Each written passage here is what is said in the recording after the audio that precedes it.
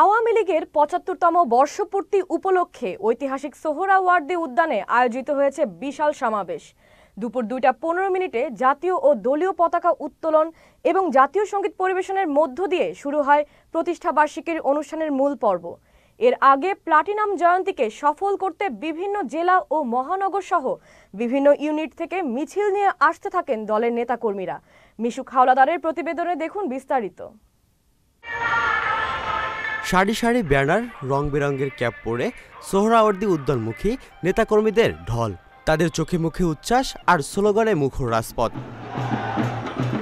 প্রতিষ্ঠাবার্ষিকীর অনুষ্ঠানে যোগ দেন আওয়ামী লীগের সাধারণ সম্পাদক ওবায়দুল কাদের। প্লাটিনাম জয়ন্তী উপলক্ষে শুভেচ্ছা জানান নেতাকর্মী সহ দেশবাসীকে।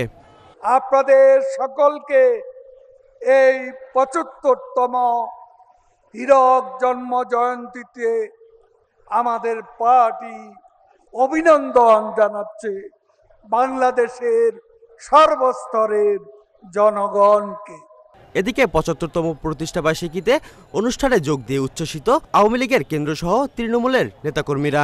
মাননীয় প্রধানমন্ত্রী যে উদ্যোগ দিয়ে দেশকে এগিয়ে নিয়ে যাচ্ছেন তার সাথে আমরা শরিক হতে পেরে আমরা ভীষণভাবে আনন্দিত। খুব আনন্দের সাথে উদযাপন করছি আজকের এই দিনটা তেইশে জুন আওয়ামী লীগের প্রতিষ্ঠা বার্ষিকী প্রত্যেক বছর আমরা এই দিনের অপেক্ষায় থাকি। আমরা অনেক উৎসাহ উদ্দীপনার মধ্য দিয়ে কিন্তু আজকের এই দিনটি আমরা উদযাপিত করছি। আওয়ামী লীগের কর্ণধার হয়ে আওয়ামী লীগকে সংগঠিত করে আজকে এই অবস্থা নিয়ে এসেছে।